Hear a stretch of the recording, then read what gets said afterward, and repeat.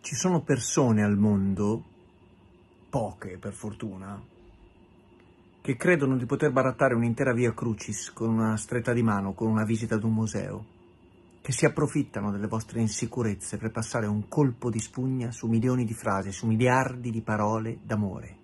Ma io ora vi spalmo sulle pareti. Questo diceva Paz. Magari non immaginava che quelle pareti potrebbero essere quelle di un teatro che ha il suo nome, in una zona d'Italia dove è complicato aprire un teatro, in realtà non esiste una zona dove sia facile aprire un teatro.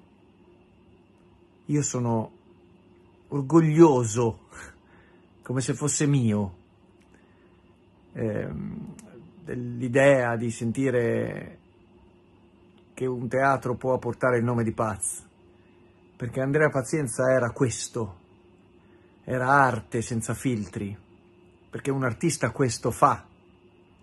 Così diceva Paz, prende un sentimento dalla realtà e lo mette su carta, con ogni mezzo di cui dispone, ma non solo su carta, può metterlo sul palco con ogni mezzo di cui dispone sul palco di un teatro che ha il nome del più grande disegnatore vivente, diceva lui.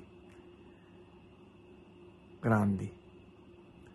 Che questa operazione abbia tutto il sostegno di cui ha bisogno per poi dare la possibilità a tanti che fanno questo mestiere di rendere onore anche solo una volta nella vita all'arte di uno che è stato immenso e che forse un gesto rivoluzionario come questo l'avrebbe approvato immensamente, ci avrebbe fatto mille disegni dentro.